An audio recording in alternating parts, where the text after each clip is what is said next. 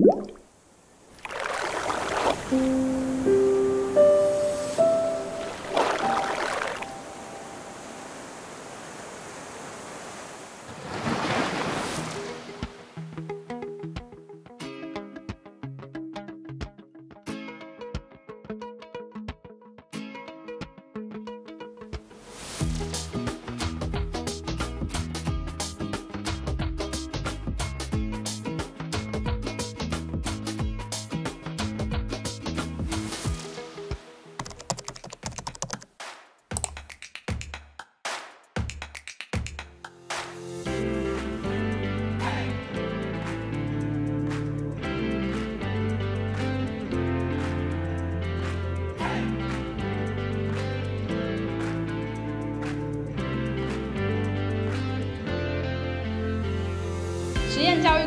者培育专案的成果展“无远福届”，大家应该有看到上面的“无”是一个“五”，是我们第五届的意思。那“无”也代表自己，对不对？我们发现啊，所有的教育跟陪伴，应该都要从自己出发。当我们可以更如实的跟自己在一起的时候，我们也才有力量可以陪伴自己，进而陪伴他人。我让大家猜猜看，我今天是什么东西？我呢，就是冠状病毒。对，有像吗？头上这样刺刺的冠状病毒。OK，好啦，其实我们这一届也很幸运，就是也是在疫情的尾声，所以所有的活动跟参访几乎都是实体进行的。那阿廖也跟我们说，实验教育其实就跟病毒一样，我们要把它散播出去。那讲到病毒，当时我们有几个非常就是投身在特殊教育的几个伙伴，他们就有教我们冠状病毒这个手语。所以这几天对，然后手可以动。这几天呢，想要跟大家培养一个小默契，就是这几天打招呼，或者是你要拍照，都请帮我摆出这个手势。呃，我们在五年前的时候，发现台湾非常多的人想要做实验教育，但是呢，呃，缺乏能够跟孩子的生命有好好连结的老师，所以我们决定开始来办实验教育工作者的培训，至今第五届。那我们除了有一届是招四十个学员之外，每一届都三十个，所以加起来前后已经有一百六十位。我们现在几乎每一个县市，呃，我们如果去那边想要找一些志同道合的朋友，都会有我们自己的人参加这个计划。最动人的部分，除了你看到那些非常呃坚持、有热情的老师，呃，开放多元的可能性的这些老师之外，更重要是来自于全台湾各地的学员，然后他们所牵连出来的各种的人脉。所以不管你过去怎么样，以后就不会再寂寞。欢迎大家，也恭喜我们第五届学员，谢谢。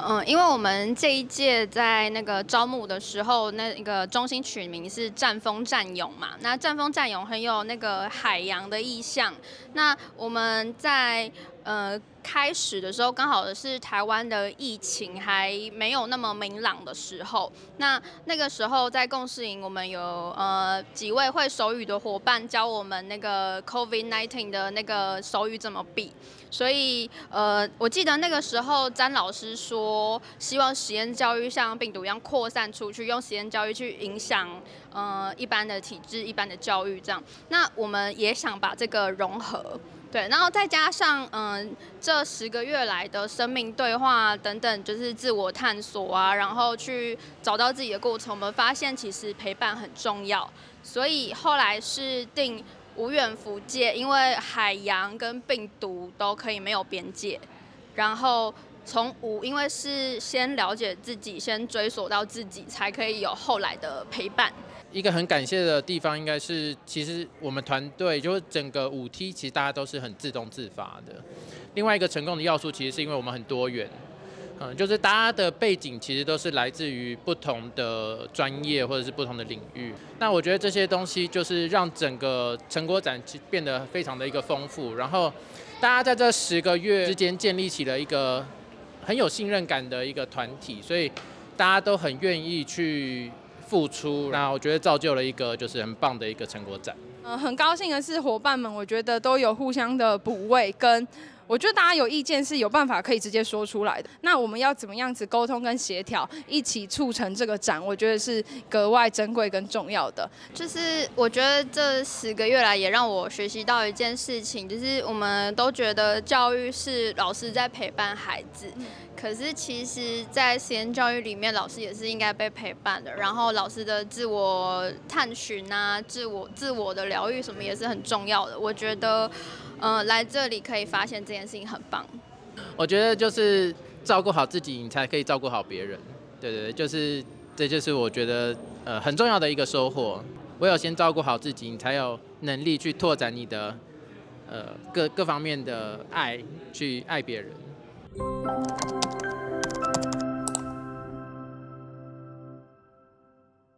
主要这个第一个是我们的静态展区，那可以看得到有很多蓝蓝的，然后灯光有点昏暗，有种海洋的感觉，它就是海底世界。那海底世界这个展区，它主要就是呈现静态的海报跟各式各样的展品。那我们希望呈现的就是。我们像是每一个人都像海底生物一样，然后有自己的样貌、自己的习惯、自己的特质。那大家都可以在一个很浩瀚的海洋，就像实验教育的大海这样子，在里面漫游，在里面生活，然后彼此之间又可以激荡出不同的火花。那我们现在要走到哪里？我们现在要进到洋流大道了。我们要进到洋流大道。那它的设定呢，主要就是想要呈现，就是呃动态的，就是摊主跟观众们之间互动这样子的一个设计。我们现在浪头上有讲者正在跟大家分享哦，他们现在是在学校跟实验教育的部分。没错，因为刚好这两位都是体制内的老师，勇于冲撞的体制内老师们正在分享他们的一个生命故事，还有他们在这十个月的过程中如何把他们的收获带回到他们的教学现场。最后应该是潮间带，呃，我们从入口进来之后的看到的第一个展区。那刚好它里面教室也是木地板的设计，很像潮间带一样，就是从陆地然后过渡到海洋这样子的感觉。所以当初在发想的时候，其实也会考量整个空间环境跟动线上的一个这整个策展的故事做一些对话。那我觉得就是这些展品这一些布置，其实都是集结了非常多人的一个创意跟就是灵感，然后还有我们的手作，我们各式各样的力量就是汇聚而来的。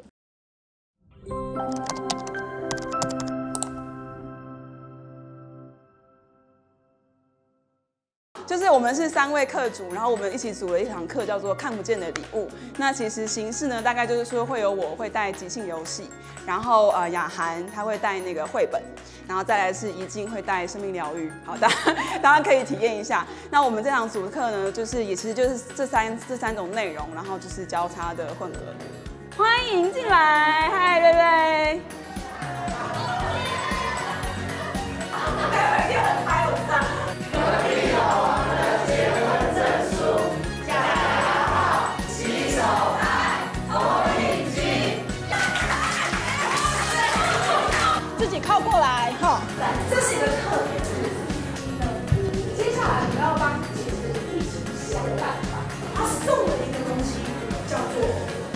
没有东西。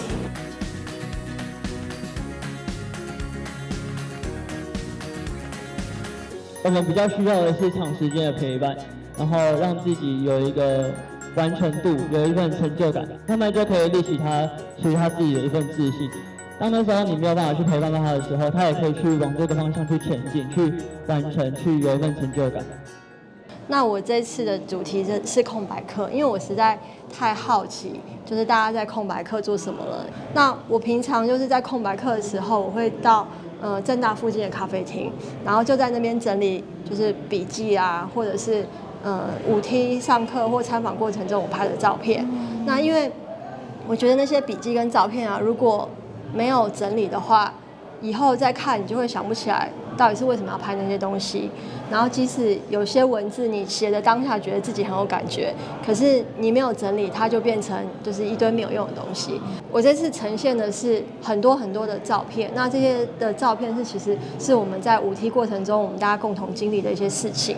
我们上课的地点在正大的景堂楼，然后所以我们在那边度过了十个月的时光。然后这个卡片上面呢写的就是，呃，从今以后台湾小校一间都不能放，呃，一间都不能废。我工作华范大学，它是一个小的学校。那我看到这句话的时候，我觉得对我的呃触动很大，因为学校很小，但是它也很有精致，它很多元有特色，它其实不应该被就是呃这样的。社会状况，然后让它消失，嗯，这个是呃我蛮有感觉的的一个角落，所以把它拍下来。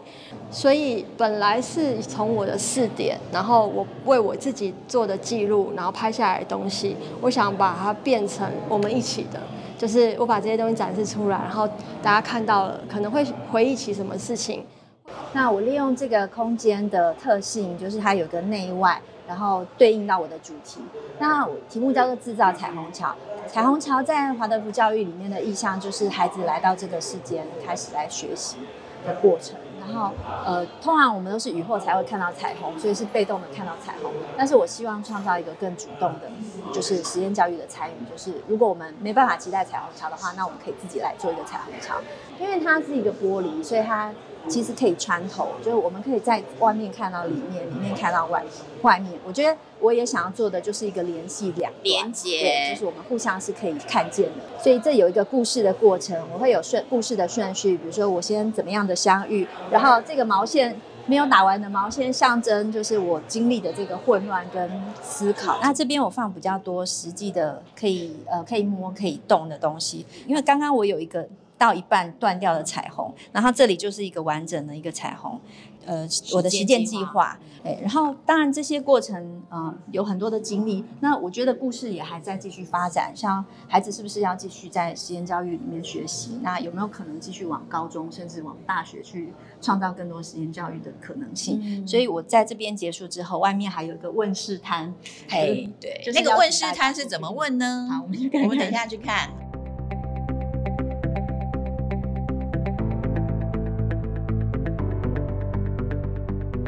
我当初就想说，我们的那个主课的名字就叫做那个东北三台链。那东北角三台链其实就用山川海的概念来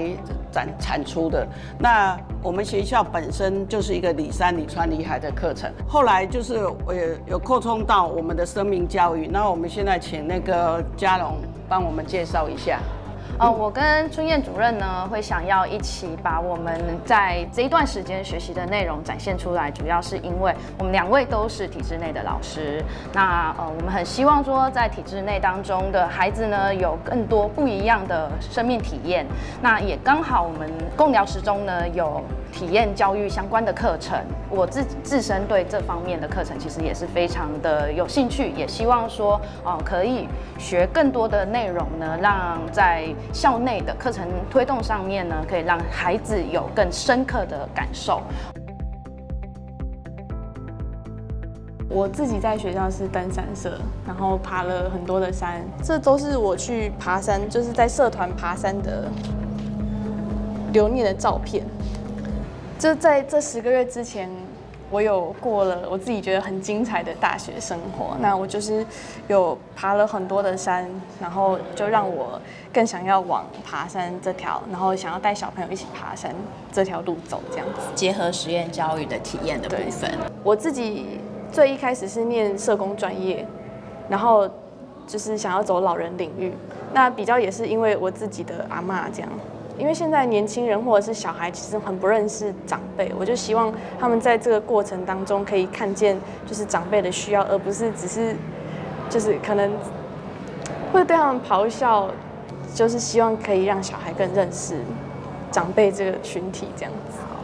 呃，其实我自己刚刚前面有介绍到，我过去的工作是室内，在室内设计这个领域。那自己有了孩子之后，接触到了很多教育相关的一些议题，因而就是踏入了这。有有这个荣幸可以参加正大的这一次的培训计划。那在这十个月当中，在这里我遇到了超级多、超级优秀又厉害的教育工作者。那这十个月里面，其实呃正大也安排了非常多精彩的行程跟活动。那我觉得这真的对我来说是生命当中一个很大的一个反转，所以我就介绍在这里陈列了，就是我在这十个月当中在这里所所看所见，然后所经历的一切。那包括就是我在这个地方就是讲到，就是说我是如何去接触这个实验教育，我怎么接受这件事情，然后在这个十个月的培训计划过程当中，我和孩子一起在这里做了哪一些事情。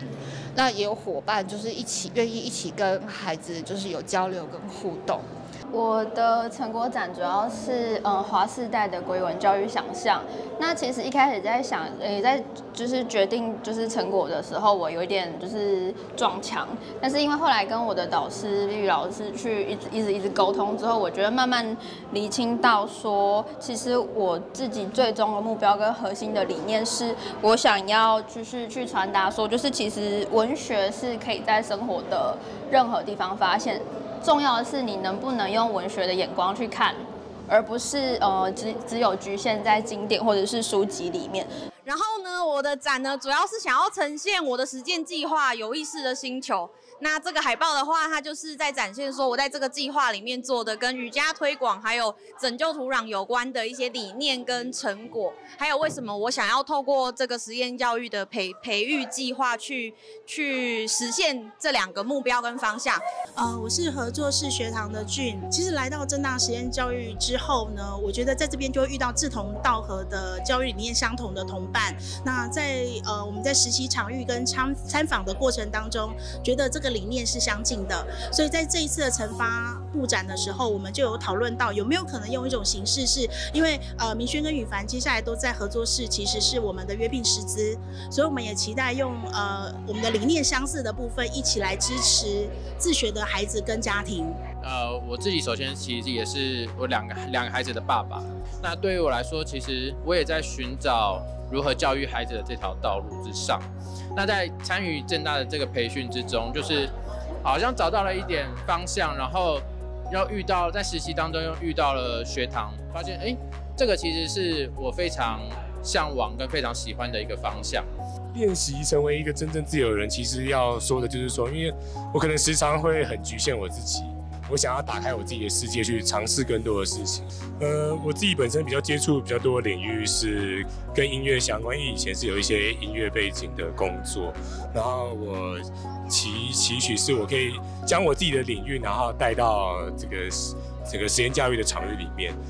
呃，会跟妙妙一起开这个这个一起合开这个摊位，是因为我们两个都是在特殊教育中，呃，这样载福载沉，是可以这样讲吗？可以，一起徜徉在这个特殊教育之中，这样子。然后我觉得很有趣的是，我们俩其实都在做陪伴的故事，所以我们那时候就想到说，那不如把我们这几年陪伴的经验，把它画成照片，然后用跟大家一起用故事换故事的方式，大家来，如果你看到这个故事很有感动，你也可以跟我们分享说，你看到这个背后你想要说什么事情，或是你可以问问我们发生什么事情，然后我们在那对话过程中就可以一起想想特殊教育可能现在困境是什么，那我们可以怎么做，或是一般的人们他们可以怎么做，然后身为。特教性背景的我，那时候对于实验教育有很多好奇，来到这里。那我觉得这故事中除了分享我们陪伴，也分享了我们在实验教育中看到特殊教育有哪些东西，以及我们可能看到有哪些哎不一样的地方或一样地方，以及我们可以为实验教育中做些什么事情。其实这个比较是我们做一个空间氛围的调性的药草啦，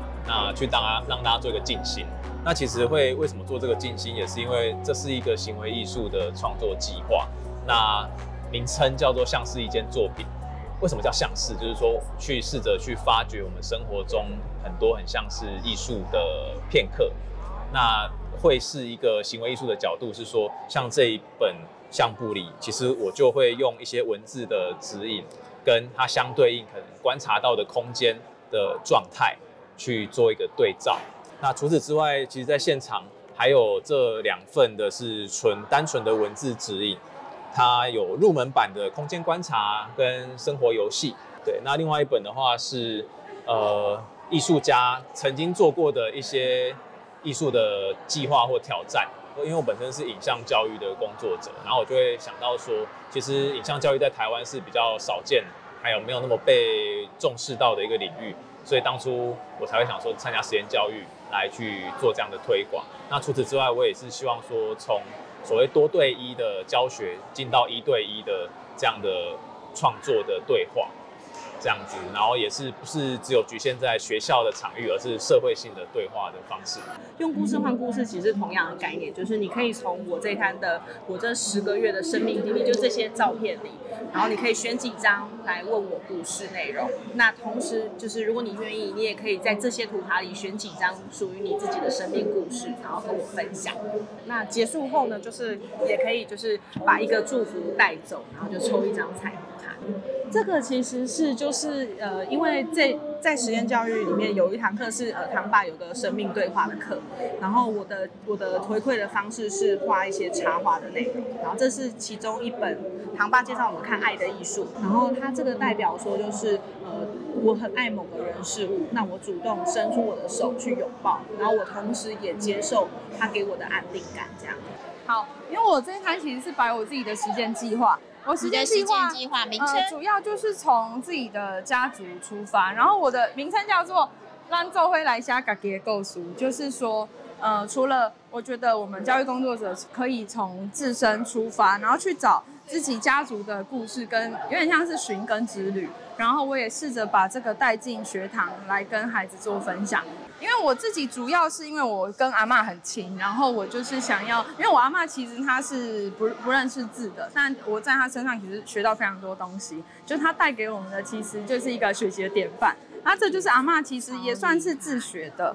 她有看过人家做了，但她没有真正去学，所以她就是回家有点像是自己研究，然后她就用铁铝罐，有点像是。本来的废物，然后把它变成宝物的概念。然后阿妈就是很喜欢做这些手作，所以我摊位上的这些椅子啊，或者是这些笔筒跟那个斗笠，都是阿妈自己做的。所以这些就是你回去跟你的阿妈互动的呃小时候的故事。对，这都是跟阿妈之间的回忆。面对教育创新呢，这些风浪，我们也是在逐着浪。在跨年夜，我们有几个非常有才的伙伴。他们创作出属于我们五 T 的歌曲，相信有些人应该有听过。我们现在就要欢迎我们的五 T 二百五跟五 T 牛肉音来为我们演奏我们的《逐浪者》，所以大家掌声欢迎他们。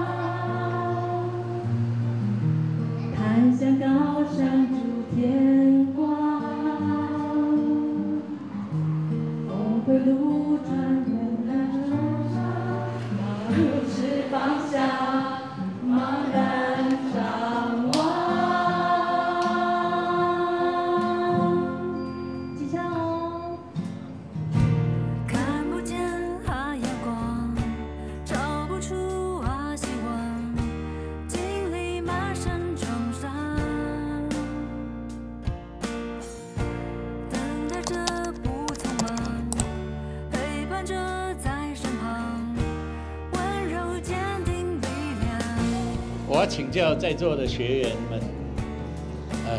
十个月之后，你觉得你有改变的，请举手。感谢大家选择我们，呃，中心，然后给我们这非常宝贵，那你人生这么重要阶段的十个月，就我们一开始做三十个，那哪一年才能改变台湾？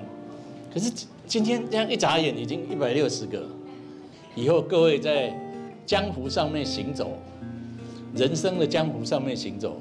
一定呃会碰到多多少少一些困难，但是呢，只要一挥手，呃，就会有同伴。我觉得这是最开心的事情。呃，对我们来说是愚公移山，对大家我们一起来说，我们是绑了一只一捆再也折不断的筷子。就是像加入一个筷子的团队一样，觉得可以获得到大呃机构里面大家能够得到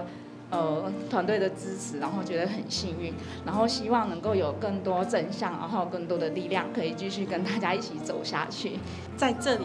大家很特别，就是会互相补位，然后都能接受很多突发的状况。尤其这两天就会蛮感谢我们有一个成果展这样这样的机会，然后让每一个人都有自己的舞台跟自己专长发挥的地方。呃，其实我很不习惯在团体里面就是说话，那我觉得这十个月来就是一直是呃不断的练习这件事情。对，那我相信未来就是。我愿意，呃，这样尝试练习做这件事情。我有点焦虑的是，接下来六日要怎么办？这样。其实昨天来的时候，我有点低潮，这样，就是我有点不想要再去面对，就是那个分离的感觉。之后还是会在这一条江湖路上 一起行走。毕业之后，我们可以继续在这个置业上一起做事，一起努力。因为有这十个月实验教育的养分的滋养，所以让我更有勇气，也更有力量，能够在未来退休前的十二年，可以用更开阔的眼眼光、更开阔的心胸，呃，对待孩子们。那谢谢伙伴们带给我这么大的能量，谢谢。我要感谢的是，就是这边所有的同学，然后还有老师们跟就是行政团队团队，然后大家就是在这十个月以来都非常的。互相配合，然后也互相了解，这样我觉得这是一个很难得的机会。我这两天讲太多话了，所以我要打拳呐。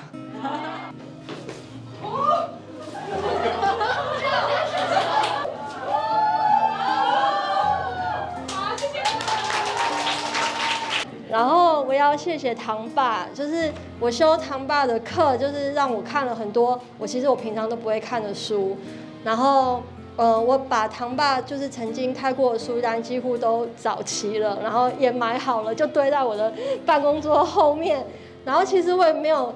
我也没有把握说，我有有有什么时间可以再拿来看。但其实好几次我都把我作业寄给唐爸的时候，我都很想跟唐爸讲说，那个呃，我以后如果有看书，我可以再写给你看嘛？这样。但是我每次都没有写，因为我想说，我还是不要开巴拉票好了。我们的生命课没有结束，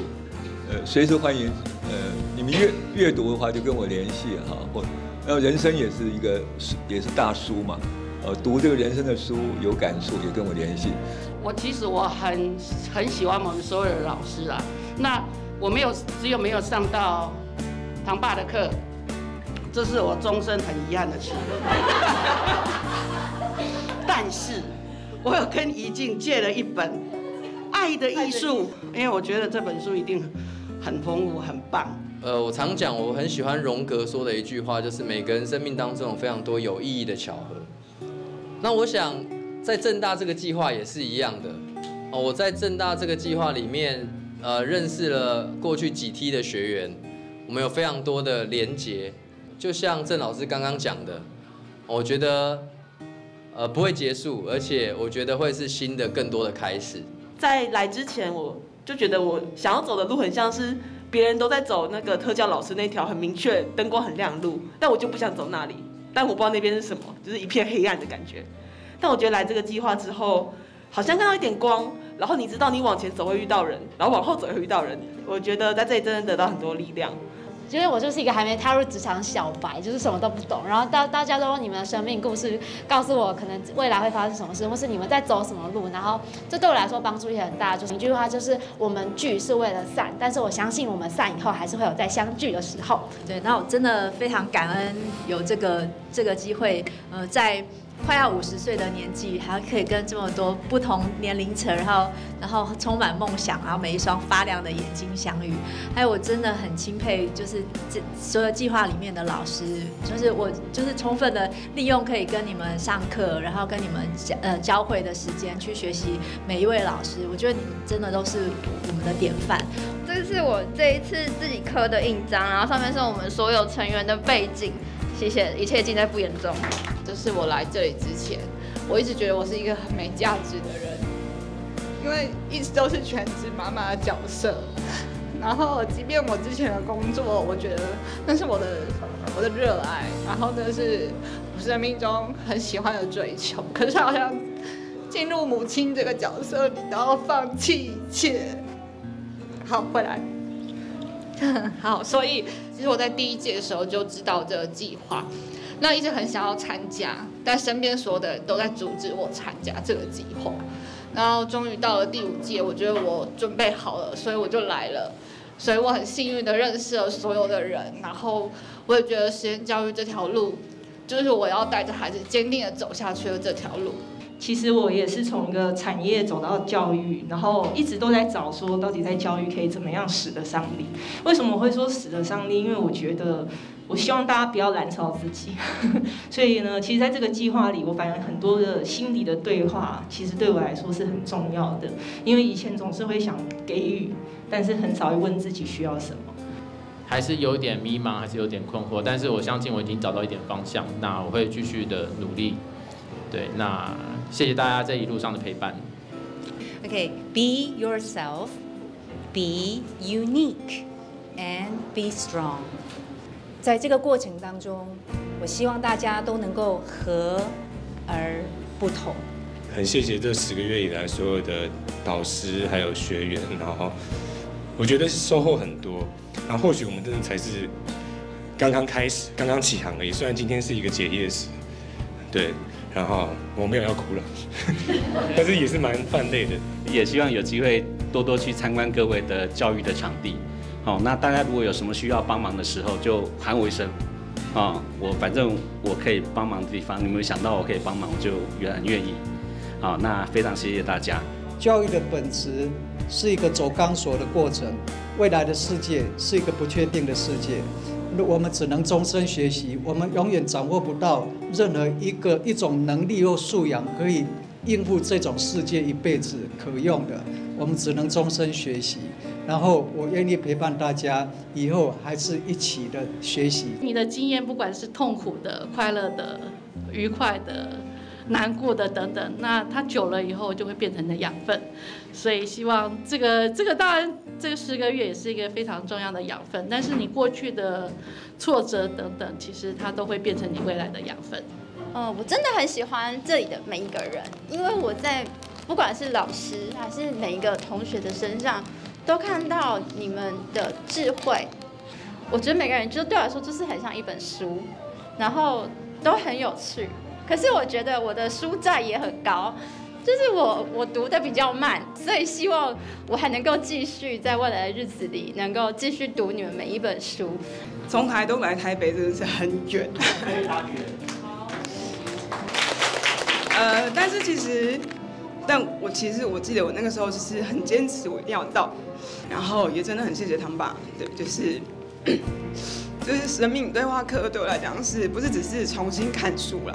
真的被呃关心跟看见那个生命的可能的时候，那来到正大这边，我觉得对我最大的，呃，我觉得一个很大的前进，是我更如实的接受我自己也有做不到的时候，啊，我也接受我自己生命有这一些过程，能够让我把我自己真实的样子呈现在我自己的面前。然后我觉得在这边就是真的学习到呃沟通包容，从大家身上学习到，然后就是也让我就是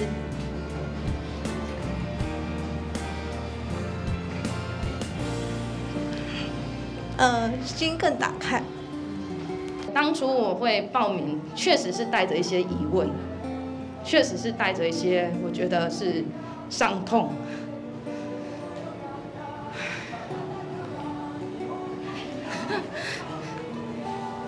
为什么会觉得很伤痛呢？是因为曾经有享受过实验教育的好玩，但是我在工作当中，我觉得这几年我挫折蛮多的，所以呃，在去年的时候我就决定我要回来取暖，呃，我要回来充电。可是，一进来的时候，其实还是有那些框架。我一直在想着，我表现好差哦，别人好厉害哦。